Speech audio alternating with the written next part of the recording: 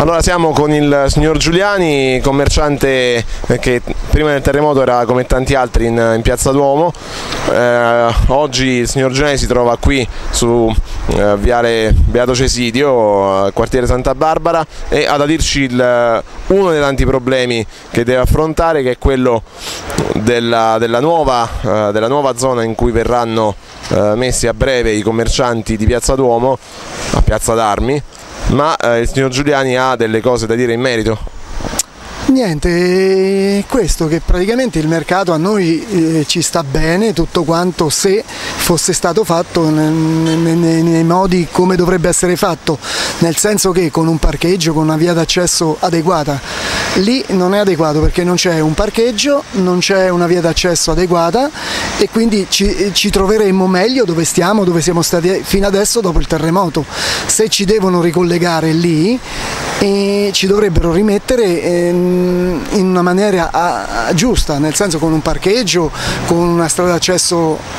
adeguata a quello che, che, che conforma le regole. E quindi noi, almeno noi della frutta, siccome la frutta è un, è un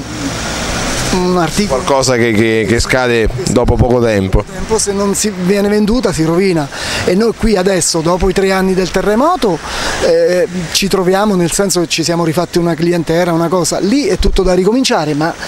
eh, eh, da ricominciare eh, che lì non si ricomincia perché se non c'è un parcheggio, c'è la via d'accesso, la gente non ci viene, noi la roba la buttiamo tutto lì. Ma questo è mio il discorso e di tutti gli altri commercianti che vendono frutta. Poi chi magari c'è chi è d'accordo con le scarpe, i vestiti, ma quella è roba che non si rovina e quindi, e quindi non... E, e noi ecco, vorremmo finché non viene fatto come dovrebbe essere fatto con i dovuti parcheggi, la via d'accesso come si deve, restare dove stiamo. Invece il sindaco Celente la scorsa settimana eh, eh, ha detto chi vuole cominciare a fare la domanda per Piazza d'Armi può, cioè, può, farlo. Ma chi eh, si ci può stare che magari non vende, vende poco e la roba non gli si rovina tipo scarpe, abbigliamento, sta cosa, lo può fare, ma noi della frutta non si può fare perché è troppo delicato l'articolo. Questa è roba che dopo due, due giorni, massimo tre, la butti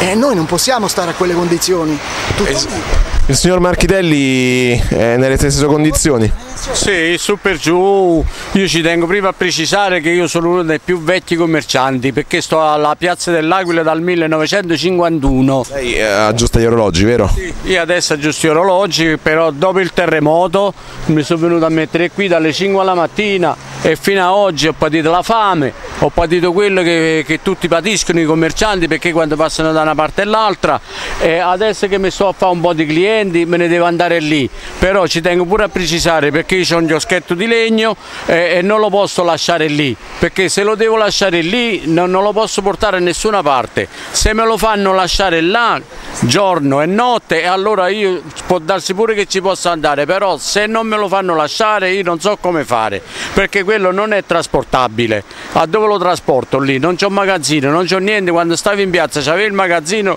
lo prendevano dalla piazza e lo portavo al magazzino, ma qui non c'ho niente e come posso fare? Io mi alzo alle 5 la mattina e vengo qua giusto per sbarcare il lunario perché oggigiorno non si fa più niente, stiamo a patire la fame perché io con mia moglie ho la moglie che non sta bene e, e devo comprare medicine, devo comprare quello e quell'altro e a quanto riesco a, a, a, a fare i, i soldi giusto il giorno per mangiare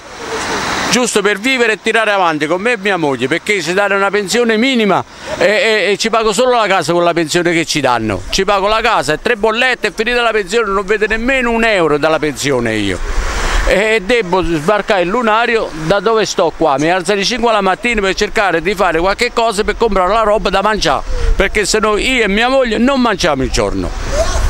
Tutto là